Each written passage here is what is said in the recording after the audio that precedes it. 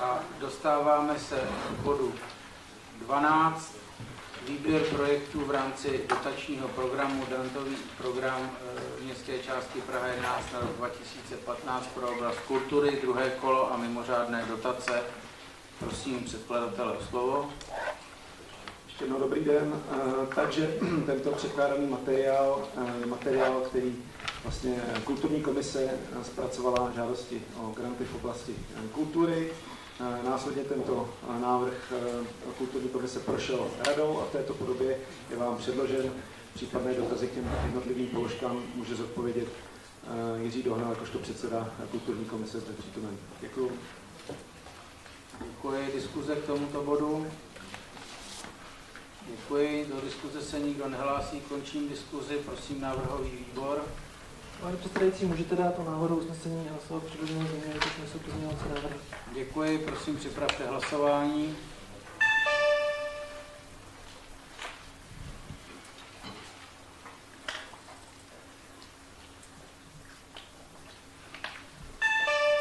Děkuji, hlasování číslo 21. Pro 32, nikdo proti, 3 se zdrželi, 3 nehlasovali, přijat. A tím se dostáváme k bodu číslo 13. Výběr dotací v rámci grantového programu městské části Praha 11 na rok 2015 pro oblast sportu a tělovýchovy druhé kolo. Slovo předkladateli. Takže se jedná o druhé kolo, které víceméně s rozdílem eh, té výše částky proběhlo eh, stejným způsobem jako kolo první. Jedná se ještě o o výsledek výzvy z loňského roku. Příště vše bude muset být jinak, protože mezi tím vešla v platnost ta zmiňovaná novela číslo 250, čili plánované na podzim další výzva o žádosti sportovní granty, tam už bude muset být ta metodika, metodika jiná, tak jak legislativa vyžaduje. Nicméně v tomto kole to ještě proběhlo stejně, ten postup byl stejný, čili sportovní komise, jakožto poradní orgán celé rady, ty všechny žádosti posoudila, to všechno je v těch materiálech tomuto tomuto bodu eh, přiložených, eh, včetně, eh, včetně těch jednotlivých programů. Následně tento materiál z komise šel do rady, rada tam provedla některé úpravy, to je opět v těch materiálech zaznamenáno. Rada tento materiál schválila a tímto je vám ten materiál zde předložen. Děkuji. Děkuji, otvírám k tomuto bodu diskuzi a do diskuze pan Hrabal. Hrabal ČSSD, tak zde zaznělo na minulých zastupitelstvech, že proti bývalému vedení radnice se bude dělat to čistě otevřené a tak dále, podle nějakých kritérií. A já se teda zeptám, a v bodě 3 sportovních grantů, nebo v okruhu teda třetí, je klub SKMG Chodov a je tam jedna dívka, která jde na mistrovství Evropy a, a dostane 28 000 korun. A můžete mi vysvětlit, z jakého důvodu Chodov, silový trojboj, to je mu Chodov, 10 členů, kteří chtějí přípravu na mistrovství Evropy, dostane 5 tisíc korun, slovy 5 tisíc korun pro 10 členů, to je první věc. Dále by mě teda zajímalo, protože se na to kouknu, tak tam celkem dost protěžujete, asi to je nějaká věc pana Kose, SKMG Chodov, rád bych se věděl, jaký mají teda nájem za sportovní halu, Jižní město. A další věc, když se podíváme do okruhu 4, tak silový trojboj žádá na školné 5000 eh, korun, respektive 40 dostane 5000 korun, kinball pro 12 členů 71 tisíc korun dostane 6 tisíc a HSOS pro 3 až 5 trenérů žádají 18 a dostanou 11 tisíc korun. Já myslím, jak furt ztrácí nějaký to, jak vy říkáte, to čistý, že to bude, nebo to, co tam nebylo původně, můžete mi to nějak vysvětlit, prosím? Děkuji tomuto se vyjádřím já. V těchto programech, stejně jako v minulém kole, to fungovalo uh, tak, jak je styl, řekněme, gymnastika nebo, nebo krása ve skocích na lyžích. Jednotliví členové sportovní komise, podotýkám, že sportovní komise jakožto poradní orgán rady, tak tam byli jmenováni zástupci jednotlivými členy této koalice a jsou tam i zástupci uh, sportovní veřejnosti tak ti navrhli u těch jednotlivých žádostí částky, ty se pak nějak zprůměrovaly a ta komise se potom o tom dále bavila. To je ten uh, motiv, to je ten model, víceméně jedná se o pluralitní model, nebo model můžeme říct kolektivní eh, nějaké kolektivní inteligence, kdy ti jednotliví členové zastupující různé politické síly, různé sporty a tak dále se nakonec jejich názory nějak zprůměrují. Proč se ta komise rozhodla tak, jak rozhodla, já říct nemůžu, já nejsem členem komise, to rozhodování o těch jednotlivých položkách jsem nějak neovlivňoval, to je otázka jednotlivých členů sportovní komise. Děkuji. Technická, pan Hrabal. Chápu to správně, že rada teda dá jakoby vlastně na rozhodnutí komise. Pokud to tak je, tak nechápu, proč eh, nevyslyšela při minulém vlastně grantovém programu, to je mimochodov 320 tisíc korun a zastupitelstvo respektive na radu rady to schodilo na 100 tisíc korun. Teď mi říkáte, že to je na rozhodnutí komise a že to nechcete zastupovat, zasahovat, pardon, děkuji. Na rozhodnutí komise je návrh, který jde na radu. S tím návrhem si rada může dělat, co chce. Eh, samozřejmě ono do značné míry to, ten návrh komise respektuje. Nicméně komise je poradním orgánem celé rady. Komise navrhuje, rada schvaluje. Tak to proběhlo jak minule, tak tentokrát. Dobře, eh, děkuji. Do diskuze pan eh, zastupitel Sikora. Petr Sikora, město náš domov. Já bych se chtěl zeptat, jestli vám přijde normální, že klub SOS a CH dostali součtu 510 tisíc v tomto kole a Dukla Jižní město, z téměř stejných členek, dostala 86 tisíc korun.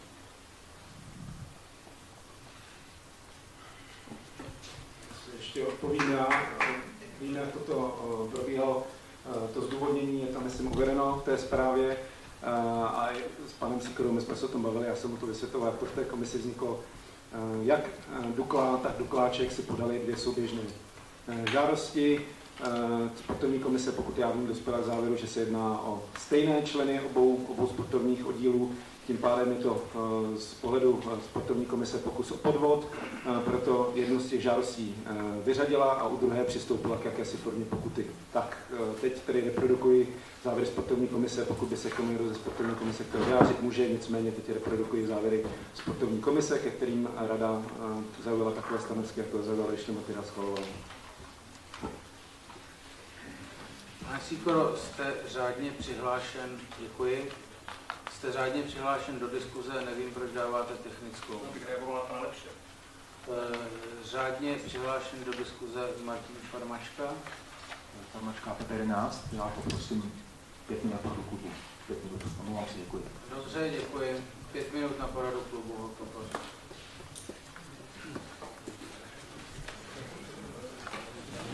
A diskutuje pan Dalibor Mlejnský. Děkuju, není tady, tak pan zastupitel Sikora. Děkuji. Eh, já jsem s panem Lešem samozřejmě mluvil. Nicméně, eh, chci se zeptat, eh, jakým právem na základě čeho si dovoluje na dneské části dát pokutu, když odpovídám odpovídám pouze za klub FK Dukla Jižní město. Já jsem předsedou klubu FK Dukla Jižní město, ne Dukláčku. Já podávám návrhy, podávám granty za svůj za Dukláček ho podává někdo jiný. Jak můžete mě si dovolit pokutovat, nebo, nebo jakkoliv perzekovat ještě za vůbec vyslovit pokutu? Nerozumím to, chci to vysvětlit. Děkuji.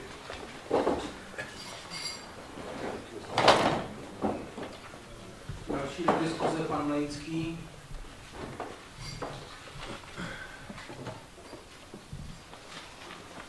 Já bych v této věci eh, měl dva dotazy eh, na pana předkladatele. Za prvé, mě by zajímal váš názor. Vy se správně říkáte, že eh, komise je poradní orgán rady, něco připraví, něco odsouhlasí a předkládá do rady, rada se tím zabývá, projednává a samozřejmě, samozřejmě může dělat změny a může upravovat. A mě by zajímal, pane Lepši, váš názor, váš osobní názor na to, jakým způsobem to teda je upraveno, respektive jakým způsobem to stanovisko ve sportovní komise na radu přišlo. V souvislosti třeba, třeba s porovnáním dvou grantů, které, které si zde můžeme prohlédnout, a sice grant pro sportovní město, který nemůžu být naštěn z toho, že bych nějakým způsobem v minulosti tento oddíl nebo tuto organizaci šikanoval nebo nějaký nepřál, konkrétně fotbalový oddíl. A právě, právě už zmiňovaná tělovýchovná jednota Jižní město Chodov, kde vlastně na celoroční činnost oddílů v případě sportovního města, který má 405 členů, včetně atletického oddílu, je teda 260 tisíc, což je dobře a to já jsem rád a to je, to je v pořádku. A právě to je jižní město Chodov, které má 743 členů, tak na tu samou činnost, to znamená celoroční provoz, dostává 10 tisíc vnímáme, že ta disproporce tam je značná.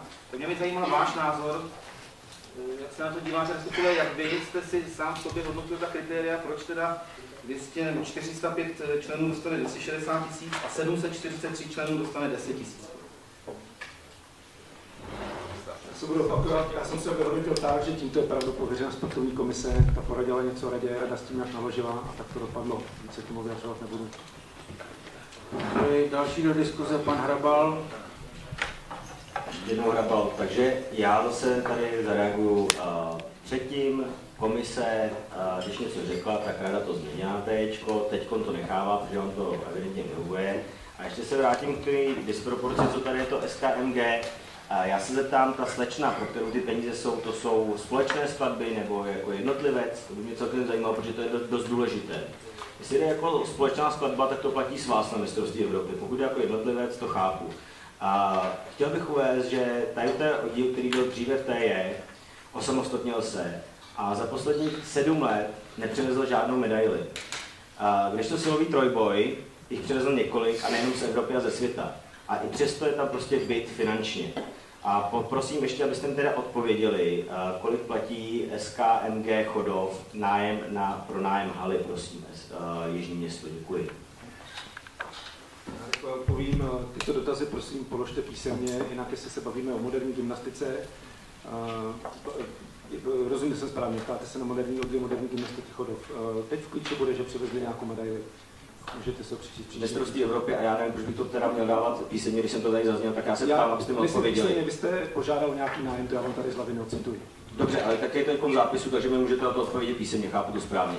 Ano, můžu odpovědět písemně. Takže vás poprosím tady na to, jakoby z jakého důvodu tam je taková disproporce písemně a Já jak je... odpovím písemně na, to, eh, na, ten, na ten nájem. Na, A tady zbytek, jakou- na zbytek jsem odpověděl předchozí odpovědi. Jo, takže nějak, děkuju. Ano, dobře. eh, Technická, pan doktor Kvítek. Kvítek, Kvítek hnutí pro Prahu 11. Eh, Já bych prosil předsedajícího a ostatní, aby tady nevedli diskuzi. Jako eh, eh, přihlášení položí dotaz a na konci je zodpovězen a není možný, aby tady probíhal prostě dialog. Neposunuli jsme se dneska, eh, postupujeme strašně pomalu, tak prosím, abychom postupovali podle jednacího dánu. Ano, děkuji. Eh, Technická, pan Stárek. Tak je to věcná na pana Hrabala a toho pronájmu moderní gymnastiky, jsem to pochopil, tak k dnešnímu dni tedy, pokud se jedná o halu květného vítěz- vítězství, neměli žádný pronájem, tudíž nelze sdělit ani cenu a v současné době se jedná eh, jako s jinými oddíly o tom, že by tam byly od září a budou mít samozřejmě cenu jako všechny ostatní oddíly. Pronájem. Děkuji. Technická, pan Hrabal.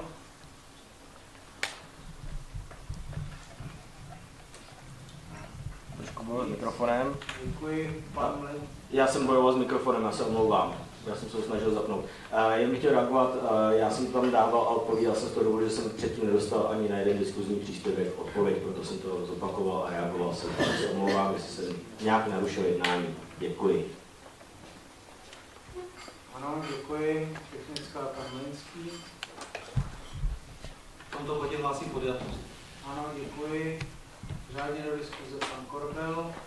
Eh, Korbelí, eh, dobré odpoledne, tak eh, já se chci zeptat, vy jste tady v té Dukle, TFK Dukla a Dukláčku, vlastně na základě toho, že jste si mysleli, že se jedná o podvod, tak jste jim tedy přidělili dotaci ve výši 100 korun. Mě se mě tedy zajímá to, jestli jste prostě, když jste na to přišli, jestli jste se snažili zavolat panu Sikorovi nebo někomu z těch klubů, abyste si abyste si jako ujistili, že se, že se nemýlíte, že opravdu eh, to byl záměr vás jako takhle podvést.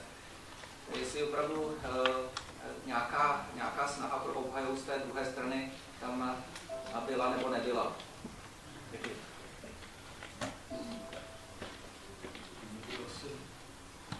Nevím, odpovíme na konci. Technická, pan Hrabal. Jenom hlásím také podjatost, děkuji. Děkuji. Eh, Pan Stárek? Také hlásím podjatost tohoto bodu. Ano, děkuji. Eh, Pan Sýkora po třetí, čili připravte technické hlasování, prosím.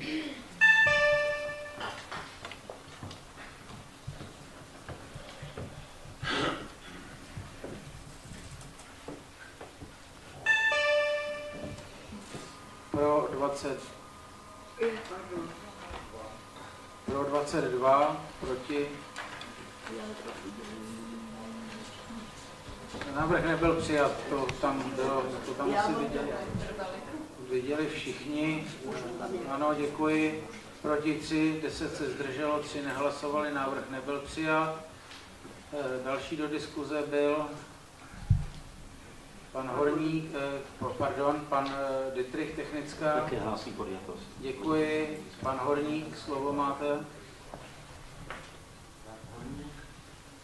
Horník, eh, pro právo 11. Já tady odpovím pár teda lidem, eh, jelikož jsem tady asi jediný ze sportovní komise, eh, takže mám přehled eh, o tom, jak to probíhalo. Takže já nejdřív navážu na slova pana Lepše. Je to jak říká, ve sportovní komisi je průřez jak veřejností, tak jednotlivýma lidma ze sportovního prostředí. Eh, Co se týče, eh, co se týče odpovědi panu Korbelovi eh, i panu Sýkorovi, tam je pravda, že pan Sýkora je za FK Dukla Jižní město, za Dukláčka mám dojem, že je to pan Novotný, jestli se nemýlím. Je to tak, pan Novotný. To znamená, tam panu Korbelovi odpovídá paní Strnadová jako úřednice odboru školství. Eh, Pan Novotný přesvědčoval paní Strnadovou o tom, že členi jsou stejný jak v FK, v FK Dukla Jižní město, tak v Dukláčku, ale že ten grant tam chce, aby, aby byl napsaný, takže byl podaný. Ano, to je odpověď. Co se týče Dukly Jižní město a odpovědi panu Sýkorovi, eh, co se týče grantů a FCH je Jižní město SOS háje, tak eh, je tam grant, vypočítal to zhru, zhruba, já teďka nevím, kolik ta částka dělá, 400 něco tisíc. Eh, Tak eh, já tady mám před sebou papíry, je to z veřejných zdrojů.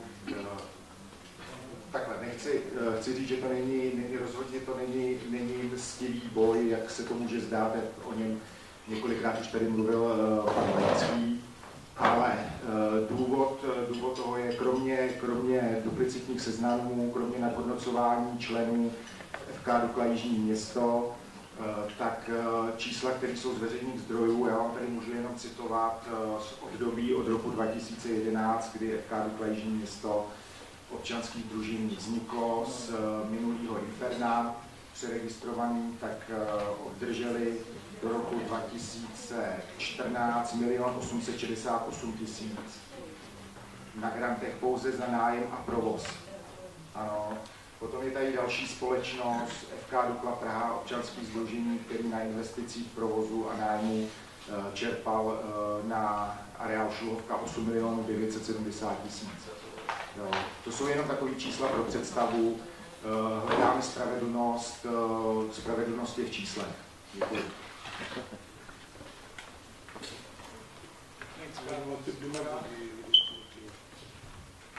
Já můžu dožít každého jednotlivého člena FK Dukla Jižní město. Podle fač, stačí se podívat na fače, 196 do 18 let, prostě je nás téměř 300, takže za Duklu Jižní město si tak myslím, že je všechno v pořádku. A jestli máte problém s něčím jiným, tak si to řešte po úzké. No, děkuji. Eh, Dál do diskuze. Dál do diskuze mě přišly dvě přihlášky od obyvatel, pan Vašíček. Robert Vašíček, Robert Vašíček, naše Praha 11. Eh, Zaznělo tady, že eh, Dukla a Dukláček mají shodné členy a že se tím měli dopustit, po, že se tím měli dopustit podvodu a na základě tohoto podvodu dostali pokutu. Tak se chci zeptat rady, vážená rado, na základě jaké eh, právní legislativy dostali tuto pokutu.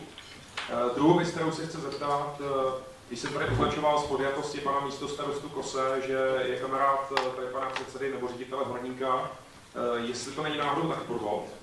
A třetí věc, eh, chci se ve chvíli, když členové Dukly, nebo třeba Chodova, v tuto chvíli podají žádost o vstup do hájů, jestli bude žádost o grant pro, pro háje označen také za podvod, protože budou mít schodné členy. Děkuji.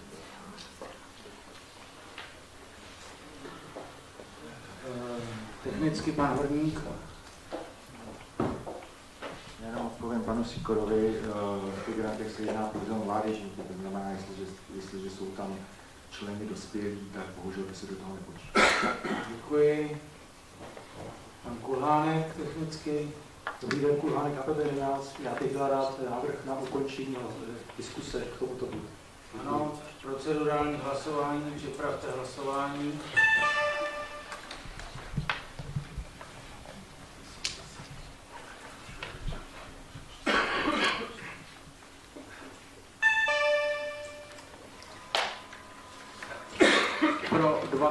23, proti 10, 4 se zdrželi, jeden nehlasoval, návrh byl přijat. Čili ti, kteří byli přihlášeni do diskuze, což je pan Lukeš a pan Gabriel, budou mít, pan Gabriel bude mít poslední slovo.